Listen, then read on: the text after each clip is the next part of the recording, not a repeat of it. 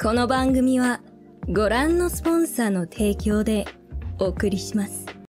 Oh yeah, but about about yesterday, um, you know how I was kind of talking about how my family's ill and I'm the only one, and I was laughing about it. Um, you see, if they were actually really, really ill, I wouldn't be laughing, but they're already on their way to getting better.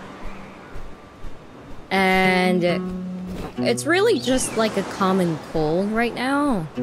We understood it was a nervous laughter. Yeah, I thought it was funny because, you know, it wasn't severe. It was more like a common cold and felt like a haha I'm in danger kind of moment. It's uh it's it's the weaker variant and also they're all, you know, they all got their boosters uh, several times, so that's why I didn't really think much of it, but yeah. Don't worry, guys, I'm not a sociopath.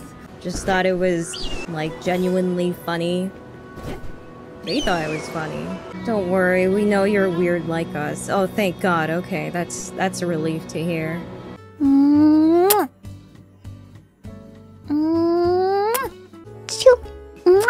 Bye bye.